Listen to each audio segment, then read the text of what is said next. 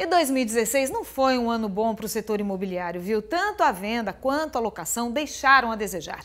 Os desafios para reverter a situação agora, em 2017, são grandes e vão depender de quesitos como diminuição do desemprego, desaceleração da inflação e redução de taxa de juros nos bancos.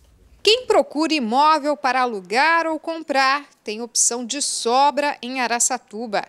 Segundo Kleber, que é diretor de negócios de uma imobiliária, só a média de locação mensal passou de 35 para 20 entre o primeiro e o segundo semestre de 2016.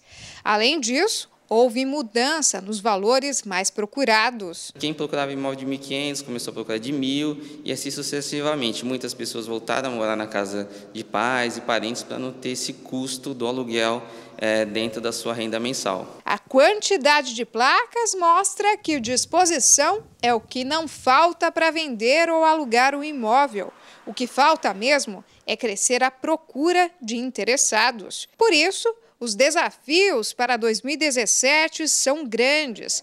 A melhora do setor depende de diversos fatores, como desaceleração da inflação e mais emprego. Havendo desemprego, a tendência do, da, da, família é de redução de, de, de, despesa. E uma das primeiras coisas que ele vai cortar é o aluguel. Se há desemprego, não tem como a pessoa pleitear um financiamento que não, não, ele não tem o cadastro dele aprovado.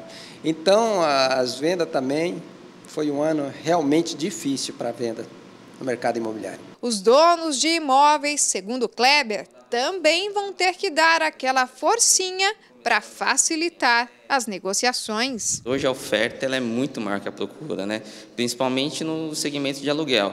Então hoje quem procura um imóvel bom para morar consegue negociar melhor, consegue morar em bairros anteriormente é, muito valorizados. Então, hoje, o proprietário que quer o imóvel locado tem que negociar para que o imóvel não fique vazio.